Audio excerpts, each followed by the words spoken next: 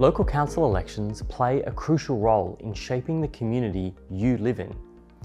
Let's dive into why your vote matters and how it can make a real difference. Your vote matters. Local councils make decisions that directly impact your daily life, like parks, sporting grounds, roads, libraries, and community centres.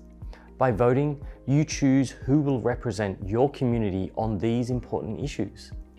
Every vote counts, especially in local council elections, where the margin can be very close. Your vote could be the deciding factor in who gets elected, so make sure your voice is heard. If you're unsure, take some time to learn about the candidates. Our website has information on each candidate, including their statements and photos, responses to the candidate questionnaire, and their contact details, helping you make an informed choice that aligns with your values. Yes, it does.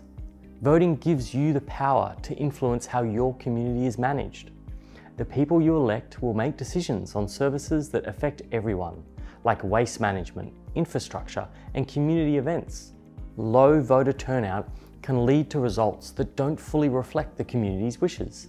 By casting your vote, you ensure that the council better represents the diverse voices of your community. If you're still undecided, review the candidate statements included in your ballot pack or visit our website. It's important to make an informed decision that reflects what matters most to you.